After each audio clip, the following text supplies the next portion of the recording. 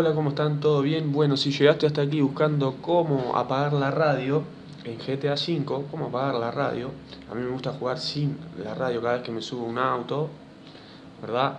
Apagar la radio porque a mí particularmente me molesta. Estoy jugando con GTA V en PC, aclaro porque después me, me llegan comentarios de cómo se hace en PS4 y todo esto, y yo no tengo PS4, siempre juego en PC. Bueno. Es muy sencillo. Lo que tienen que hacer es, al lado de la W está la Q en el teclado.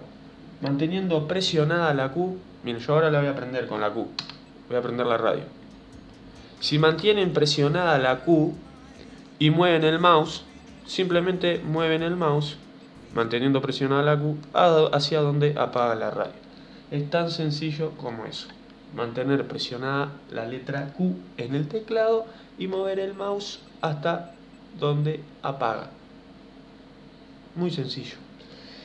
Eh, bueno, eh, si les sirvió el video, podés apoyar con tu suscripción, tu like. Y bueno, eh, será hasta el próximo video. Voy a jugar un poquito y bueno, que pases lindo. Chao, chao. Uh.